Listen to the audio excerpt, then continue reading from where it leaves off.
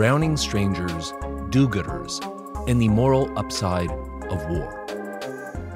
I'm Clif Mark, and this is Good in Theory.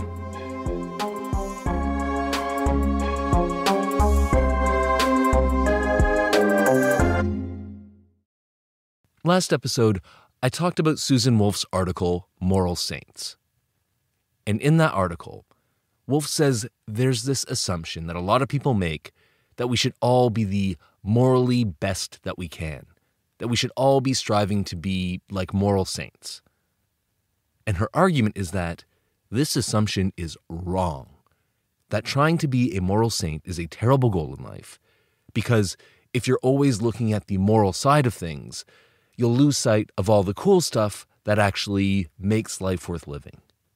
You won't be able to laugh at a Marx Brothers movies, appreciate Tolstoy, be a foodie or a style icon or an athlete or whatever.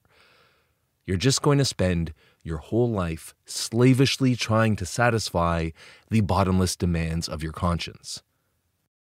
Now, Wolf doesn't want to abolish morality altogether. She just doesn't want it to take over people's lives. So she recommends that we all step out of the moral point of view every so often and look at things from what she calls the point of view of individual perfection. And by that, she just means that we should take a more holistic view of what's valuable in our lives, a view that includes sports and art and gourmet food and everything else. And this sounds like solid, reasonable advice. Why shouldn't we consider all aspects of our lives when we're deciding what to do? It sounds reasonable, but here we are. Another episode, and I'm still talking about Susan Wolf. Why? Well, last episode, I gave as clear and generous an interpretation of her argument as I could manage. But when I was done, I still had a lot of questions. There were still things that bothered me about her argument. So I decided to come back to the topic of moral saints and bring two more authors into the mix Peter Singer and Larissa MacFarquhar. And the idea is that these two authors can bring in aspects of the topic that Wolf left out. Singer, he brings in an argument for why we should all be more like moral saints. And MacFarquhar, she tells us what real life saints are actually like and gives us an idea of the upside of leading that kind of life. One of the big questions that Wolf doesn't answer in her article is when we should take the moral point of view and when we should take the point of view of individual perfection. All she says is that we can't be in the moral point of view all the time, but beyond that, just use your intuition. And so I try to use my intuition. And my intuitions tell me that there are some situations that call for a moral point of view and some that don't. For example, I'm most sympathetic to Wolf's argument that we should focus a little less on morality when I'm thinking about that habit people have of trying to turn every tiny little detail into a charged moral issue. If you watch the news or read it or are online even to a moderate degree, then you know what I mean. I've read articles on the morality or immorality of biking to work, what kind of food you eat, what songs are okay to listen to at Christmas, whether you capitalize the word black, you name it. And once you get used to thinking in this way, it can be insidious. You want to pick a lunch spot? You wind up asking yourself things like how much packaging does the restaurant use? Is it recyclable? How do they treat their livestock before they kill it and feed it to you? Is this one of those homophobic chicken restaurants? Or suppose you're watching a movie and all anyone wants to talk about is whether the movie is harmful or offensive to anyone, if bad people might be encouraged in their badness by watching it, if the directors or producers or actors have a record of immoral behavior, and so on. And I'm not saying these aren't important things for someone to consider at some point. But the worry is that thinking too much about them can make you forget why you even like watching movies in the first place. It's these kinds of situations where I'm most sympathetic to Wolf. I want to ask people to take a step back, to let go of that perspective, and to remember that there's more to life than being completely morally spotless. However, I wouldn't say that in all situations. In some situations, my intuition tells me that you should be taking the moral perspective and that thinking about aesthetics or about what you're going to have for lunch would be the wrong thing to do. For example, if there was a child drowning in front of you. This, of course, is the famous example from the 1972 article that's 10 years before Wolf's piece, the 1972 article by Peter Singer called Famine, Affluence, and Morality. This is a super famous piece. I talked about it a bit with Paul Sagar back in episode 31, so if you're curious about it after, you can head back there and listen to that one. Anyway, Singer's argument goes like this Imagine you're walking by a shallow pond dressed in a nice new outfit. You see a child drowning, and you can save the child, but you'll ruin your clothes. What do you do? Now, obviously, you jump in and you save the kid. You're morally obliged to do that if you can. And if you tried saying something like, "Well, I I would have saved the kid, but these these shoes were really expensive." Well, you'd sound like a monster. This is a situation where you should be seeing things in moral terms. That Singer's first move. He gives you something obvious. Then his second move is to ask, what if the child isn't drowning right in front of you? What if it's drowning far away in a different country? But you can still save it. It's just that instead of jumping in and getting wet, you have to make a small cash donation equivalent to the cost of the clothes you would have ruined aren't you still obliged to save that kid? Because what's the moral difference between the two cases? And this one is a little less obvious because, on an emotional gut level, a child drowning right in front of you is a lot more compelling than a child that you can't see because it's across the world. But on a rational philosophical level, what kind of argument do you make? It's kind of hard, actually, to say why exactly the life of the nearby child is more important than the faraway one. And it's really hard to explain why the lives of foreign children are worth less than the pleasure of getting new shoes. So, a lot of people, when they hear this argument, they're inclined to say, Fine, Peter Singer, you have a point. Maybe we are morally obliged to send a few hundred bucks if it will save someone's life. But once you admit that, you've walked right into his trap.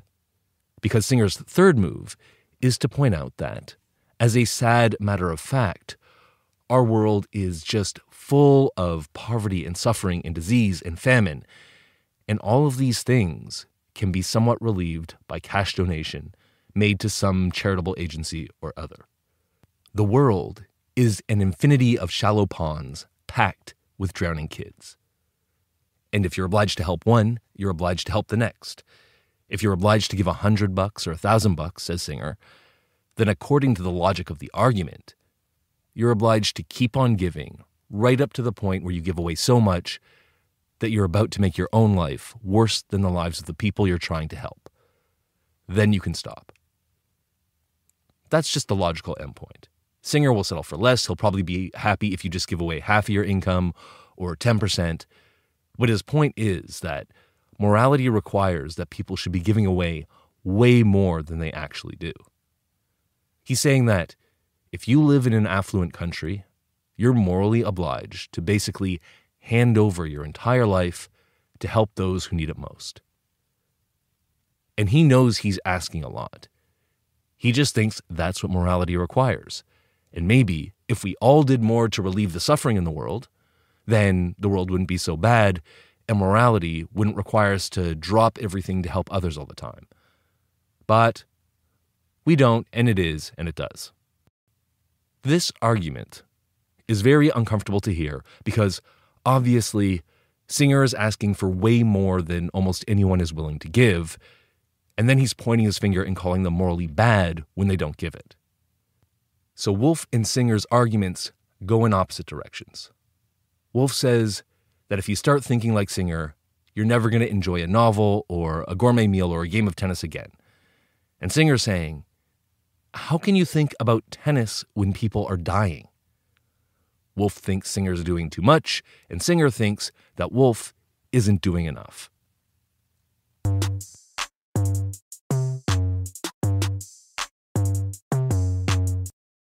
I think Wolf and Singer both make good points. On the one hand, I agree with Wolf that being a saint does really seem like a drag. I wouldn't want to devote my life to helping strangers. But also, I do kind of find it morally sketchy that things like truffle oil and champagne and, I don't know, indoor skydiving exist while something like 25,000 people a day die of hunger. I can't really settle the question between them in any satisfying way, but I can fill in some of the details about how it might actually be to live that saint life. And I'm going to do it by talking about a book that I really enjoyed called Strangers Drowning Grappling with Impossible Idealism, Drastic Choices, and the Overpowering Urge to Help. The title, Strangers Drowning, that's a reference to Singer's article. And the author, who is called Larissa MacFarquhar, she was inspired by Susan Wolf's article as well. So she knows about all the arguments I've been talking about. And she decided to write a book about the people that Wolf calls moral saints, though she calls them do gooders. These are the people who devote their entire lives to being as ethically good as possible. They go to extremes. They go to the point where they seem weird and they make other people uncomfortable. And although MacFarquhar is working in the same general topic as Wolf, her approach is very different. Singer and Wolf, they're professional philosophers, and they travel mostly by armchair. Remember, Wolf says she doesn't even know if any saints exist, and then she just kind of invents how she thinks they must be and then gets annoyed at them. She figures they must be boring and totally inoffensive and super nice, and that their lives must be pretty miserable, but she doesn't actually go out and meet anyone who fits the description. And in a way, it doesn't matter because Wolf doesn't care that much about actual saints. She cares about that nagging feeling of guilt that she gets for not being one. MacFarquhar, she's not a professional philosopher. She's a profile writer for The New Yorker. So instead of imagining what do gooders must be like, she actually goes out and meets them. She finds a whole bunch of them, she researches their lives, and her book is filled with in depth profiles of these people. She doesn't just explain their good deeds, she gets into their motivations, their personal lives, their relationships, the rationales they give for their actions, all sorts of stuff. There are all kinds of do gooders in the book. There's a chapter on a guy who was born a prince but gave up the family fortune to start a leper colony. There's a couple who adopted more than 20 kids. There are missionaries, nurses, people who donate their organs to strangers. And even though the book isn't social science per se, it's still real world research that can help us see what Wolf got right and what she got wrong. And one thing that Wolf got wrong is that do gooders are not all these super nice, inoffensive Ned Flanders types. A lot of them are really odd and interesting characters and willing to make other people very uncomfortable. And I can't tell you about all of them, but obviously, I need to tell you about at least one who, oddly enough, was inspired by Peter Singer. I know I've been talking a lot about Singer, and I want to make it clear that not all people who care about morality are followers of Singer. Do gooders come from all kinds of backgrounds, and they come to their do gooding in different ways, and most of them haven't heard of Singer and his utilitarian style arguments about drowning children. But some of the people that MacFarquhar writes about were genuinely inspired by him.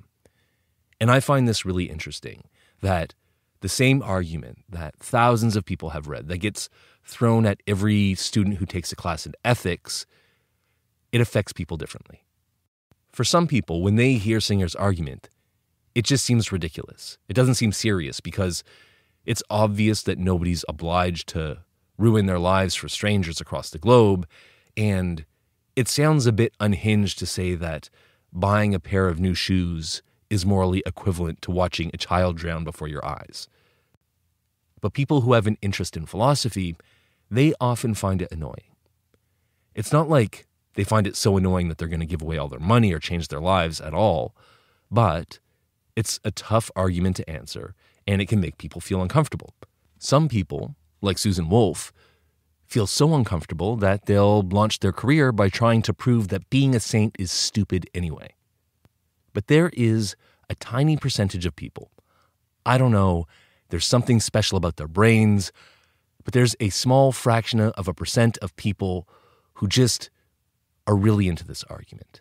This argument was made for them, it gets into their mind and takes over their life. Aaron Pitkin, he's one of the do gooders in MacFarquhar's book. He's like this.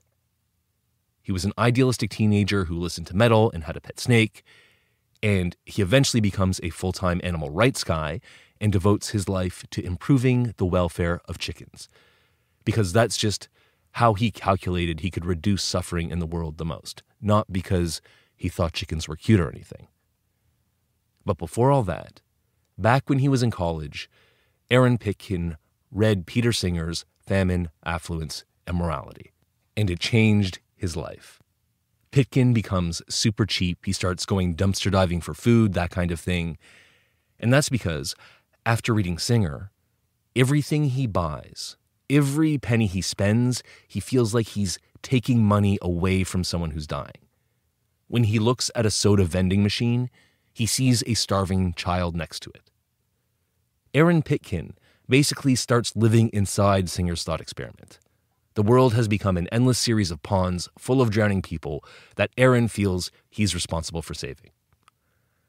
And he's not the only one in the book who's like this. There's another woman who completely melts down because she lets her fiance buy her a $4 candy apple and then feels guilty because he could have given that money to someone who needed it more. Now, like I said, not all do gooders are obsessed with donating every last dollar in Singer style. They do good in different ways. But what all of them share is that they're driven by an enormously powerful sense of duty. It's not that they don't have other desires. They do. She wanted to eat the candy apple. It's that their sense of duty makes them suppress those other desires so they can focus on doing good. So these people usually become workaholics who never take time off. They train themselves to sleep less so they can have more waking hours to do good in. They give away their money, they risk their own safety. They all make huge sacrifices and lead very focused and intentional lives and hold themselves to ridiculously high moral standards. And in a way, this is Susan Wolf's nightmare having a conscience that is so domineering that it won't even let you enjoy a candy apple. And actually, reading MacFarquhar's profiles, it seems even worse than I thought from reading Wolf. Because when Wolf is talking about the things that you have to give up to be a moral saint, she focuses on personal activities, hobbies, characteristics, your sense of humor, taste in literature, that kind of thing. But according to MacFarquhar, this isn't the most important thing that do gooders lose out on. They also have a really tough time keeping up good relationships with their families and friends. Normal human beings are very partial. Distance matters to most people's moral intuitions, and this is true in the literal sense, where the child drowning in front of you matters more than the child drowning across the world, but it's also true in the figurative sense, where you have more duties to the people that you're connected to. So, for most people, family comes first, and friends, then maybe people from your city or religion or fandom, citizens of the same country, the workers of the world. Almost any connection creates more moral obligation than no connection. And these connections, especially the really close ones, are subjectively very important to people. And that's probably why we give them such moral significance. But do gooders are different. They're impartial. They believe in the equal moral worth of all human beings. Now, of course, we all say that we believe in the equal moral worth of all human beings, but maybe we believe it abstractly, but we don't believe it emotionally. We don't let it affect our actions in any way. Because if we seriously put strangers on the same level of concern as our family and friends, we wouldn't have family and friends for very long because we never buy a birthday dinner for our friend. We never take a nice holiday with our spouse. How could we when there are hungry people to be fed, homeless people to house, orphans to be adopted, and so on? Now, do gooders, they do put these people on the same level, and they do make those sacrifices. It's not that they don't love their families, it's that they put strangers on a moral par with them. And since there's always someone in the world suffering more than their families, their families fall off the priority list. And if you don't prioritize your relationships, they tend to fall apart.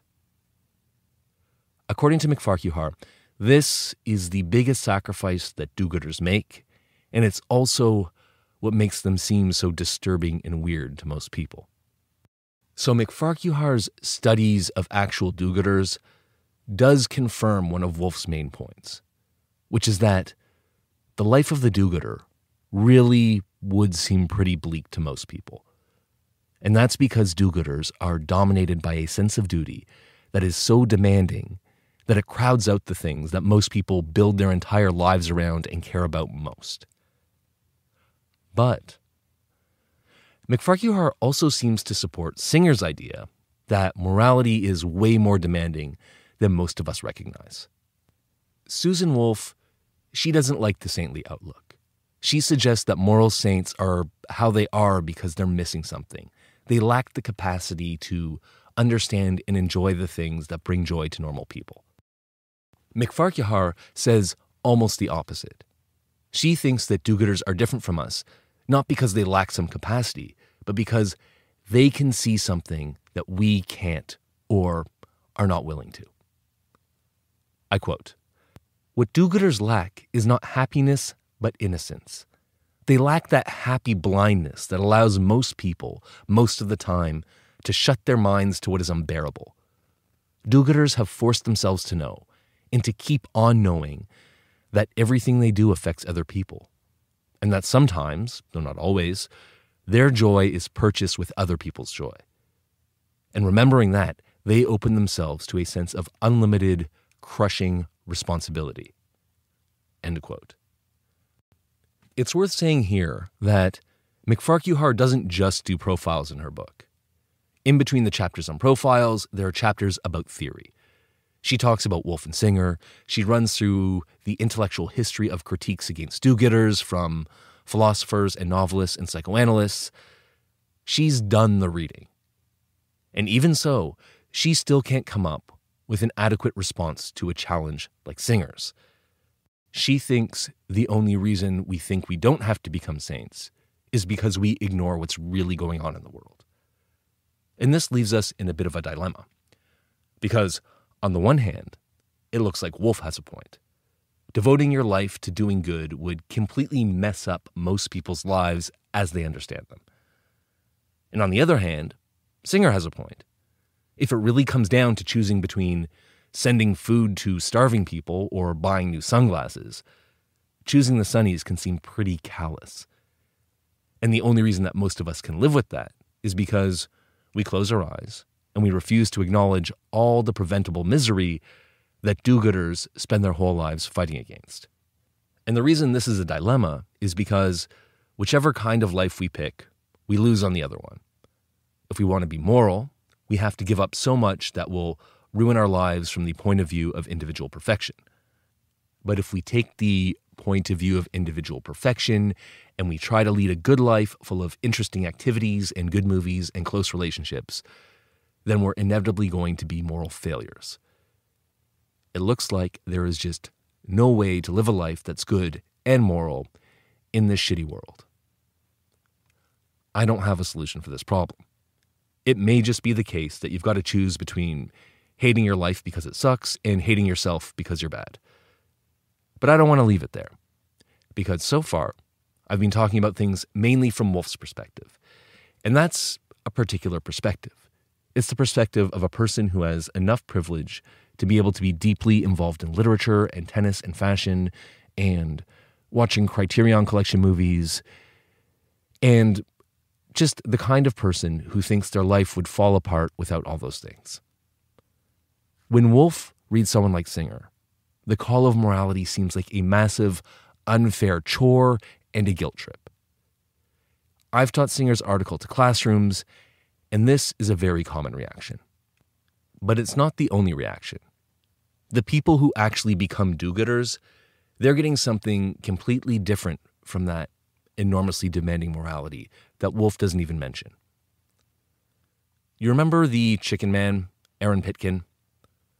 When he read Singer's shallow pond argument, he didn't find it annoying and burdensome. He found it clarifying. Wolf, she finds the call of duty oppressive, but for Pitkin, it was liberating. Before he read Singer, Pitkin always had this strong sense that there was a lot wrong in the world, and he didn't have a clear idea of what he was supposed to do about it. So he always had this vague sense of guilt and uncertainty, like he was tainted somehow. And reading Singer's argument helped give a shape to his sense of unease. Now, of course, it was intimidating because the argument demands such a huge sacrifice, but he also found it bracing. It gave him direction and strength. And a lot of the do gooders in the book are like that. They're bothered and dissatisfied until they find their own calling, their particular way of doing good. And after that, they're not necessarily happy, but they do gain a sense of clarity and purpose. They're not always wondering if they're doing the right thing. They know what they have to do, and they just try to get on with doing it. And the huge sacrifices they make, they seem like less of a chore because they're doing it for a higher purpose. They are just doing what they have to do. Wolf and MacFarquhar, when they talk about do gooders and moral saints, they talk about them like they're these rare exotic creatures. And they are, but they're not aliens. These people are still motivated by really common human impulses. It's just that they take them to an extreme degree. Most people can see the appeal of committing to something bigger than ourselves or the appeal of having conviction about what the right thing to do is and then doing it. And I also think that most people, at least when they're in the right kind of bad mood, can see why the life of individual perfection that Wolf recommends could be unsatisfying. Wolf, she wants you to spend all your time trying to pursue your intrinsic interests, to pursue your passions for literature and film and working on your tennis game. She wants you to develop your sense of grace and personal style. But it's all about individual development and enjoyment. You're always asking yourself, what do I really want? What am I passionate about? What kind of things do I truly enjoy? And that means you never get beyond yourself. You're never part of something bigger. And if you're even a little bit idealistic as a person and you get in a bad mood, all of this self development stuff can seem so small stakes that it's hardly worth bothering with. Now, don't get me wrong, I play sports, I like to read, but I can also see why someone might think that this kind of life is kind of petty and hollow and self absorbed. Even I can see that. And I've lived a life that's way closer to Wolf's than to any of the do gooders in MacFarquhar's book. And so, what I'm saying here is that the basic impulses to help others and to be part of something greater than oneself are pretty common. It's just that we don't hear as much about them, and we may not even recognize them because these impulses don't get that much play in our current ideological situation. We live in individualistic, liberal, consumption oriented societies. At least I do. And in these societies, we're encouraged to think of things in terms of personal preference and development. The do gooder mindset is kind of discouraged. You got people like Wolf saying that to be a saint is a kind of mental disorder that she wouldn't wish on herself or anyone she loves. But this is an interesting part of MacFarquhar's book. She points out that there are some circumstances in which the moral perspective of the whole society can kind of shift towards the perspective of the do gooders. And so the saintly outlook becomes common. It's not just for a few moral freaks. Now, she's thinking of different kinds of emergencies, natural disasters, that kind of thing. When these kinds of things happen, our sense of duty expands people make sacrifices, they take risks to help people they've never met. They might go out to actually rescue people. They could organize relief drives. They might welcome strangers to stay in their own homes. And it's not a chore. When you see interviews with people in these kinds of situations who are working in relief, even if they're doing something really exceptional, they usually just act as if they're doing what they have to do. And I can't remember any of them complaining that they had to miss a tennis match. MacFarquhar's big example of a social circumstance that shifts all of our conceptions of duty is war. She says, yeah, war is hell. That's when we do the cruelest and most evil stuff to each other. But it also makes duty more demanding. It brings out a big shift in what's expected of everyone. People are expected to drop their regular pursuits, drop their jobs and their leisure activities, and risk their lives and work for the war effort in all kinds of capacities. It's no longer cool just to ignore your public duty and devote your life to cinema and sports. And in wartime, a lot of people rise to the occasion and they show courage and sacrifice and devotion to their comrades and countrymen.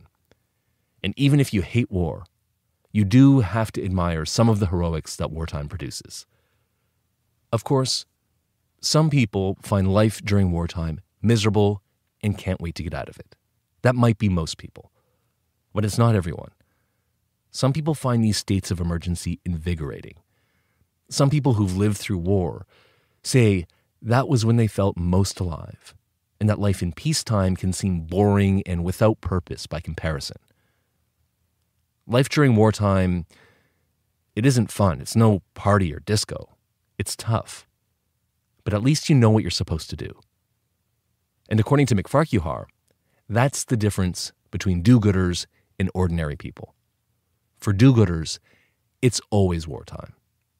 They live under an expanded and more intense sense of duty, and that gives them the enthusiasm and purpose of wartime, but without the cruelty and violence. And if that's true, then the perspectives are a little more balanced than it may have seemed at the end of last episode. Sure, from the point of view of a young Harvard prof, the life of the moral saint may seem like a real drag. But from the point of view of someone with a clear sense of the rightness of their cause and a passion for fighting for it, the life of individual perfection might seem a little pointless, confused, and shabby.